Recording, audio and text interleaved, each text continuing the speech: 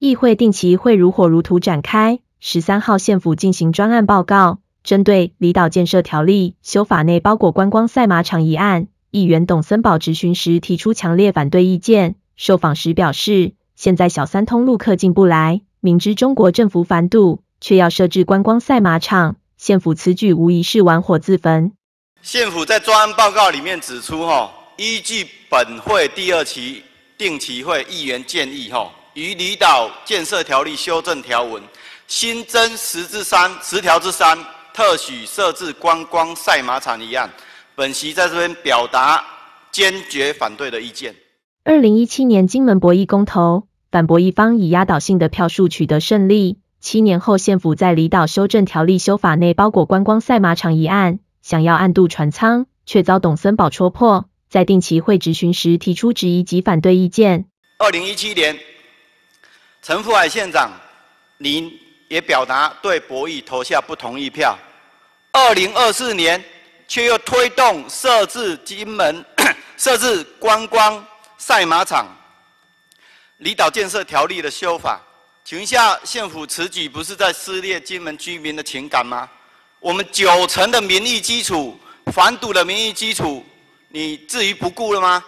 董森宝受访时针对离岛建设条例修法。内涵观光赛马场设置提出质疑及看法。这份资料其实要送到中央去，呃，进行离岛建设条例的一个修正。那里面在这个第十条之三哈，我们县政府送了一个所谓观光赛马场的一个设置。可是里面有谈到说，如果以后设置赛马场的话呢，就是不是用所谓的这个呃动物保护法跟所谓的这个刑法赌博罪的这个呃这个名义就对。简单意思就是说，如果未来如果呃，在金门推动赛马的话，有可能的话，呃，所谓的呃，这个赌博罪会进行所谓的除罪化。那我本人是感到相当的忧心啊，因为过去呃几年来，呃，离岛的民众因为这个促赌跟反赌这个议题进行好几次的公投，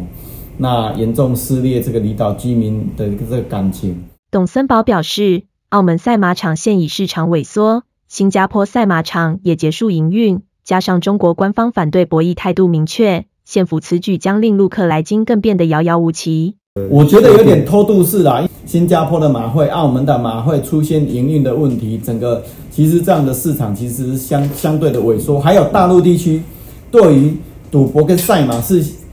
严格强制禁止的哦，他不喜欢他们当地人民去进行赌博。我在会议的时候也曾也跟我们的县长提醒说。不要搞了这一套，到时候大陆完全停止小三通，不让旅客过来，那这样子造成的，呃，对金门地区的经济啦、民生的冲击更大。县府十三号在议会定期会提的离岛建设条例修法建议专案报告，其中县府将建议修正条文第十条之三，开放离岛设置观光赛马场，观光赛马场的申请程序、设置标准、相关监督管理事项实施办法，由离岛县政府定之。特许经营之观光赛马场从事观光赛马者，不适用动物保护法相关规定及刑法赌博罪章。